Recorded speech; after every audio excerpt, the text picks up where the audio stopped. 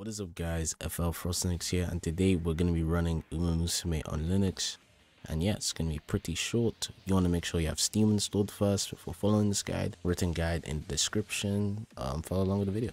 But the main thing you guys want is the Proton Plus Flatpak or whatever other version you want. Go to the link in the description, search up in your store of choice, and yeah, once you get Proton Plus installed, you are pretty much good to go. So having Proton Plus and Steam is all you really need. Uma Musume working pretty optimally on most setups. So you guys have that installed. I'm just gonna open up Proton Plus. So you guys have Proton Plus open. You should see Steam if you have installed. If you don't see Steam, then just set up your Steam, then open this. And all you want to do is just download the latest Proton GE to Steam.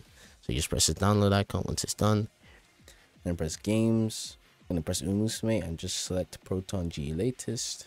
And you can also set default tool, GE latest. So my Steam is here, got Uma Musume downloaded. And uh, I'm gonna go through two methods of changing it to Proton GE to make it run on Proton GE. One is just pressing the cog icon, pressing properties, compatibility, make sure this is uh, force use. Then just select Proton GE latest. CachyOS is okay as well, but I just recommend Proton GE.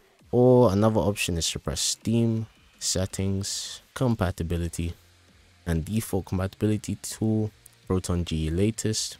This is going to make every game you have on your Steam library use Proton GE Latest or whatever you set to, which is pretty handy. So yeah, the game's launching, should have some audio.